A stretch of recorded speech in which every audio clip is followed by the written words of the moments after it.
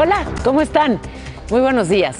Qué bien, qué bien que nos acompañan, qué bien que es viernes y qué bien que podemos repasar todo esto que ocurre con un beso.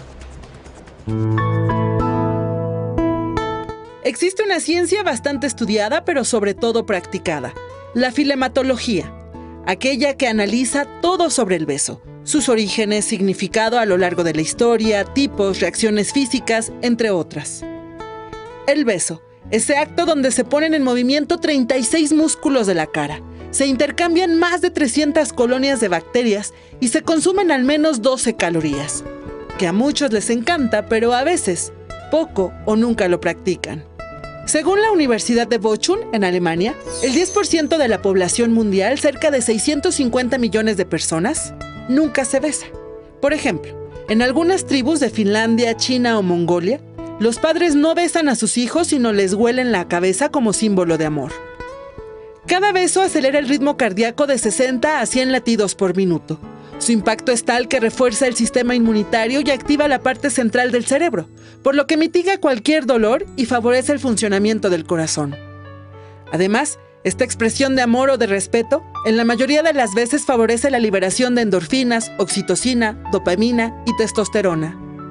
Y es que los labios son la zona erógena del cuerpo más expuesta, por ello su piel es delgada.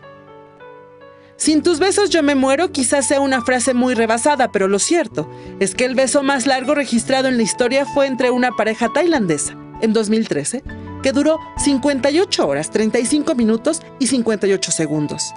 ¿Y tú, qué tan frecuente besas? Arely Melo, al aire con Paola. Ay, toda esa saliva, doctor. ¿Cómo estás? Muy buenos días. El doctor David Barrios, eh, sexólogo, siempre es un gusto tenerte con nosotros. Bienvenido. El gusto es mío, Paola. Pues mira, a raíz de la reciente celebración del 14 de febrero, Sí. el tema del beso ha vuelto a estar de moda. Dije ha vuelto, no ha volvido, ¿eh? ha vuelto a estar de moda. Y eh, es un motivo de reflexión de una caricia fundamental junto con el abrazo, que forma parte del concepto que tenemos de felicidad. Sabemos que al unir las bocas hay gran cantidad de terminaciones nerviosas en los labios que se conectan directamente a los centros superiores del cerebro. Entonces se generan sustancias, ya lo decía el, reportaje o la nota de Areli, eh, la dopamina, la serotonina, las endorfinas, la testosterona, que en su conjunto van a producir euforia, bienestar, abatimiento de la tristeza y por supuesto deseo erótico, deseo sexual. De hecho, en pláticas informales y en la terapia podemos detectar que el concepto que tenemos de felicidad en pareja está muchísimo más asociado a la calidad y cantidad de los besos que nos damos que a el número de encuentros sexuales y de orgasmos que tenemos. Y vaya que te lo dice un sexólogo. Parece que la caricia fundamental es el beso. Nada más que también detectamos en la terapia que hay parejas que se quejan recurrentemente de que está siendo una caricia olvidada, particularmente el beso profundo, y que ha sido sustituida por el beso insípido, el beso gentil, el de piquito. ¿Cómo estás vieja? Hola cariño, ya me voy, etcétera. Besitos insípidos que no tienen nada que ver con el beso hollywoodesco, apasionado, cachondo, de lengüita. A veces introducirla tan profundamente, casi casi hasta llegar al duodeno. ¿no? Esa caricia se está olvidando y es muy importante recuperarla. ¿Por qué? Porque el beso es promotor del erotismo, del deseo y del vínculo amoroso. De hecho, se asocia con la ternura también, con el cortejo, con la seducción y tenemos que reconocer que nos enamoramos con los besos, más que con cualquier otra caricia. De tal manera que yo diría que es importante que quienes nos ven y nos escuchan se pongan a practicar más besos con todas sus variaciones.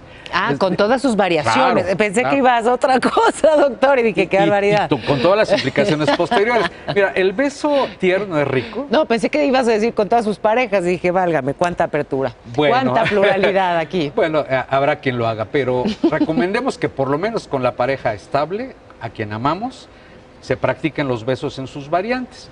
El beso profundo, el beso de lengüita, el beso con efecto de ventosa, con todas las variedades que hay. Esta caricia, insisto, fundamental, no solamente promueve los vínculos amorosos, sino el erotismo. explota el deseo, la excitación y el orgasmo. En otras ocasiones hemos platicado aquí, Paula, que a menudo las parejas se quejan de aburrimiento, de que la relación se torna cansina, densa, pesada. Y la caricia sería un elemento muy, muy importante para renovar la alegría de vivir, la alegría de estar en pareja y, ¿por qué no?, reanudar también una vida erótica mucho más intensa, que ese es el mensaje que yo quisiera dejar. Fomenta la salud orgánica y emocional. No nos olvidemos del beso porque efectivamente está siendo una caricia muy olvidada. El abrazo, el beso, el acercamiento íntimo, sensual, urge en las parejas. Porque si no, perdona la expresión, la relación se puede tornar muy de hueva.